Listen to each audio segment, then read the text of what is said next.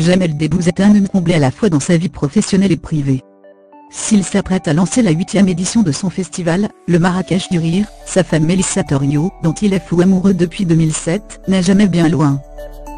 Jeudi 5 juillet 2018, l'humoriste de 43 ans, s'est d'ailleurs confié sur l'admiration qu'il lui porte.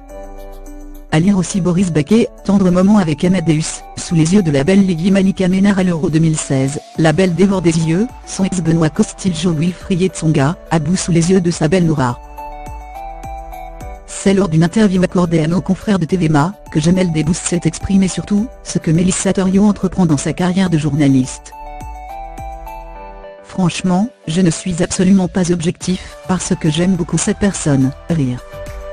Je suis extrêmement fier.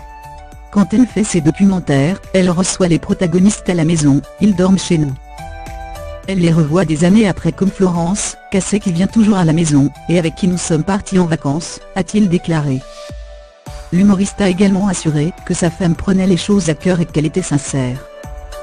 Elle défend les causes qu'elle trouve les plus injustes. Ce sont ses combats et ses choix qui la rendent encore plus belle à mes yeux, a-t-il conclu.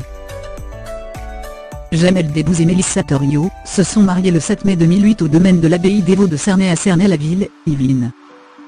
De leur mariage sont nés Léon, 9 ans, et Lila, 6 ans.